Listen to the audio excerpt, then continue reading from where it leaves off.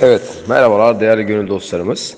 Bugün sizlerle EKPSS'de tercih yaptık. Tercihler sonucunda atamamız yapıldı ve atandıktan sonra görev yerimize gitmez isek ne olur? Bununla ilgili kısaca bilgilendirmeye çalışacağız inşallah.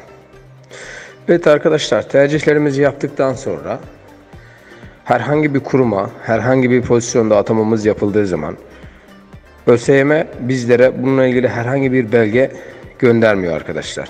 ÖSYM atandığınız kurumunuza, atandığınıza dair belgeyi kendisi gönderiyor. Atandığınız kurum sizlere itibar sağlayarak sizlerle bu konuyu hangi belgeleri isteyeceğini, hangi belgelerle sizlerle e, isteneceğini bizatihi bilgilendiriyor arkadaşlar.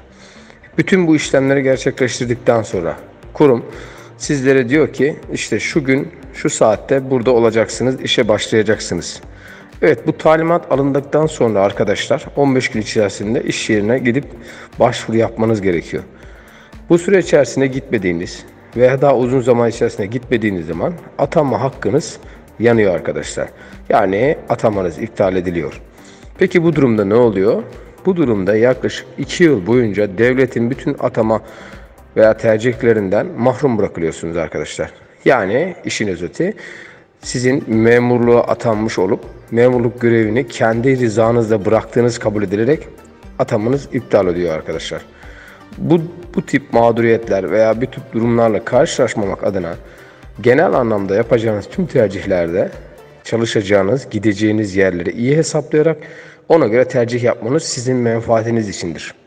Şöyle ki bu durumda olup da atama gerçekleşen ve görevine gitmeyen birçok arkadaşım 2 yıl boyunca hiçbir şekilde EKPSS tercihlerinden faydalanamıyor arkadaşlar.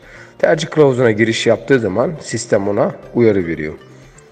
Böyle mağduriyetler geçmişle e, çok yaşandığı için sizlerden ricamız gelecekte ise tüm tercihlerinizde görev yapabileceğiniz nitelik, pozisyon ve illere göre kendinizi ayarlayıp ona göre karar verip tercihlerinizi yapmanızdır.